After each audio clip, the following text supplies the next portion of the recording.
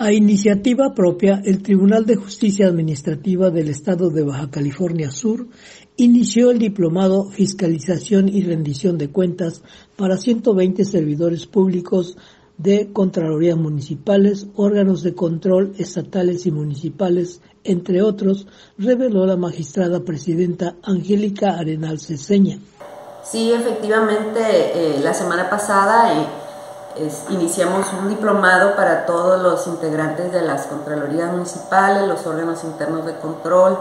tanto municipales como estatales, de los organismos autónomos, que son las autoridades encargadas de la prevención, detección y sanción de las faltas administrativas graves y hechos de corrupción.